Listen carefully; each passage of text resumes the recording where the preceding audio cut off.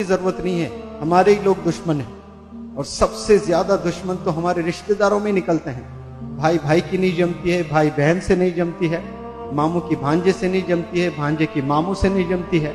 ये रिश्तेदारों में हो रहा है कि नहीं हो रहा वो कलमा पढ़ने वाला है, मैं कलमा पढ़ने वाला हूँ। वो रोजा रखता है, मैं रोजा रखता हूँ। उसका अल्लाह एक मेरा अल्लाह है। उसकी कुरान एक मेरी कुरान है। उसका नबी एक मेरा नबी है। लेकिन मैं उससे हसद, मैं उससे जलन। क्या ये दुरुस्त हो सकता है? एक मेयार में दो तलवार हो सकते हैं। एक मेयार में आप सल्लल्लाहु अलैहि वसल्लम से मोहब्बत और उसी मेयार में उनके फॉलोअर से नफरत। Is it possible do you like prophet Muhammad सल्लल्लाहु अलैहि वसल्लम? Do you honour him do you love him if you love prophet Muhammad सल्लल्लाहु अलैहि वसल्लम if you like prophet Muhammad सल्लल्लाहु अलैहि वसल्लम if you honor Prophet Muhammad sallallahu alaihi wasallam, if you admire Prophet Muhammad sallallahu alaihi wasallam, you must admire, you must love, you must like the followers of Prophet Muhammad sallallahu alaihi wasallam as well.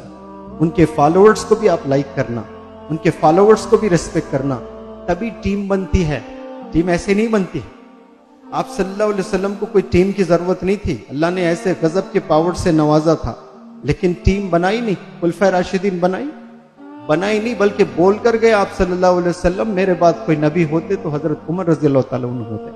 बने वो नबी? बने? नहीं बने ना? क्यों बोले? तो समझो। क्यों बोले?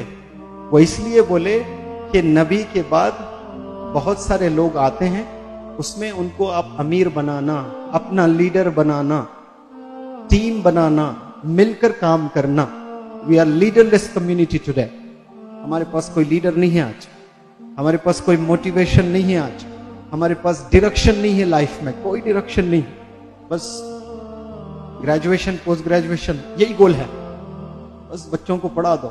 कोई मोटिवेशन नहीं, कोई डायरेक्शन नहीं, कोई लीडर हमारा नहीं, कोई रोल मॉडल हमारा नहीं। ये संभलने का वक्त है। आने वाले दिन बड़े खतरनाक दिन है, क्योंकि जिस तरह से मैं फ़ोन रिसीव करता हूँ शायद ही आप लोग जानते हैं वो, हिंदुस्तान के कैसे कोने कोने से माए फ़ोन कर कर जो रोते हैं ना, अगर मैं सुनाऊं आपको, उनके आँसू रोएँगे आप लोग। लेकिन मुझे डर है उस दिन का, जब आपके बच्चे होंगे, उस जनरेशन के छोटे बच्चे कैसे होंगे फिर? आपकी शादियाँ हो जाएँगी, आपको बच्चे होंगे, आपको वहीं स्पॉट पे हार्ट अटैक से मर जाएँगे फिर। ऐसे गुनाहों में मुलविस रहेंगे बच्चे। अगर आप लोग नहीं संभले, आप लोग उनके रोल मॉडल्स नहीं बने। हमें रोल मॉडल्स बनना है। झूठ हमें कतई नहीं बोलना है। गाली हमें कतई नहीं देना है। एक साफ़ प्लेट पर कुत्ता आकर पेशाब कर दिया आपके सामने और आपने उसको पानी से साफ़ कर दिया, फिर उसी में बिरयानी डाला। आप खा सकते हो। आपका दिल गवारा नहीं करेगा। आप भूखे रहना पसंद करेंगे, लेकिन आप खाना नहीं खाएँगे। उसी तरह जिस ज़ुबान से आप अल्लाह मोहम्मद रसूलुल्लाह बोलते हो, उस ज़ुबान पर आप गाली को बिठा सकते हो? एक ज़ुबान पर अल्लाह, एक ज़ुबान पर गाली कैसे फिट हो सकती बताइए मुझे? इस एंगल से अगर सोचे तो समझ में आ जाएगा, आपको वाक्य में मुझे गाली नहीं देना है।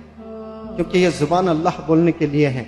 ये ज़ुबान जो है दरूद पढ़ने के लिए है। ये ज़ुबान सच बोलने के लिए है। ये ज़ुबान नरमी से गुफ्तगु करने के लिए है। यहाँ आप लोग सिर्फ़ कम्युनिकेशन स्किल्स के लिए नहीं आए हैं। आप लोग अपनी पर्सनैलिटी अपने थिंकिंग को डेवलप करने आए हैं। लाइफ में एक डायरेक्शन को लेने आए हैं आप लोग। एक गोल बनाने आप लोग आए हैं। मैं उम्मीद करता हूँ यहाँ के जितने भी पार्टिसिपेंट्स हैं स्पेशली द यंग बॉयज़